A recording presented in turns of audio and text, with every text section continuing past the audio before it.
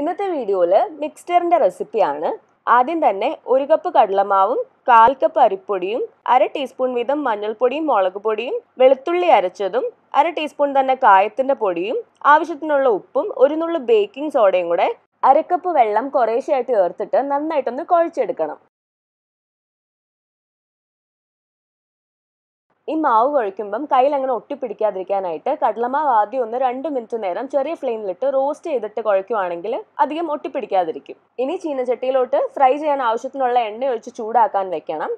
എന്നിട്ട് ഒരു സേവനാഴി എടുത്തിട്ട് അതിന്റെ ഉള്ളിൽ നല്ലോണം എണ്ണ തേക്കണം. എന്നിട്ട് കുറേശ്ശെ മാവ് എടുത്തിട്ട് ഇതിലോട്ട് വെച്ച് എണ്ണയിലോട്ട് കുറേശ്ശെയായിട്ട് ചുറ്റിച്ചിടണം. എന്നിട്ടിത് ഫ്രൈ ചെയ്തെടുക്കണം. ഒരു സൈഡ് ഒന്ന് ക്രിസ്പായി വരുമ്പോഴത്തേക്ക് മറിച്ചിട്ടിട്ട് രണ്ട് സൈഡും ഒരേപോലെ ഫ്രൈ ചെയ്തിട്ട് എണ്ണയിൽ നിന്ന് എടുക്കാം.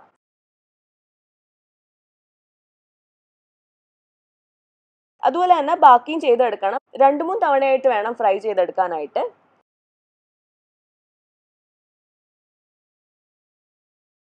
പിന്നെ ഇത് മാറ്റി വെക്കണം. ഇനി ബൂന്തി ഉണ്ടാക്കിയെടുക്കണം. അതിനായിട്ട് അരക്കപ്പ് കടലമാവിലോട്ട് കാൽ ടീസ്പൂൺ മഞ്ഞൾപ്പൊടിയും കുറച്ചുപ്പും ഒരു നുള്ളു ബേക്കിംഗ് സോഡയും കൂടി ഇട്ടിട്ട് കാൽ കപ്പ് വെള്ളവും ഒരു രണ്ട് ടേബിൾ സ്പൂണും കൂടെ വെള്ളം കൂടെ ചേർത്ത് നല്ല സ്മൂത്ത് ആയിട്ടുള്ള ഒരു ബാറ്റർ ഉണ്ടാക്കണം. ഇനി ഇത് ഒരു കോരി തവിയിലൂടെ എണ്ണയിലോട്ട് ഒഴിച്ചു കൊടുക്കണം. എന്നിട്ട് ബൂന്തി ഉണ്ടാക്കിയെടുക്കണം. അത്ര പെർഫെക്റ്റ് ബൂന്തി ഒന്നും ആവണമെന്നില്ല. നല്ലോണം ക്രിസ്പ് ആവുമ്പം എണ്ണയിൽ നിന്ന് എടുക്കാം.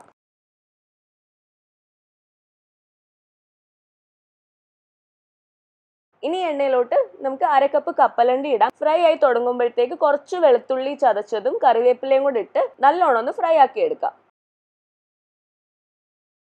ഇനി മിക്സിംഗ് ആണ്. നമ്മൾ ആദ്യം ഫ്രൈ ചെയ്ത് വെച്ച സേവ് ഒരു ബോളിലോട്ട് ഇട്ടിട്ട് ഒന്ന് പൊടിച്ചെടുക്കണം.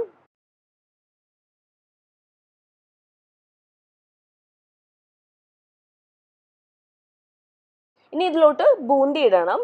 ഇനി ഫ്രൈ ചെയ്ത് വെച്ചേക്കുന്ന കപ്പലണ്ടി ഒരു നുള്ളുപ്പ് വേണമെന്നുണ്ടെങ്കിൽ ഇടാം. ഇനി എല്ലാം കൂടെ നല്ലതായിട്ട് മിക്സ് ചെയ്തെടുക്കണം.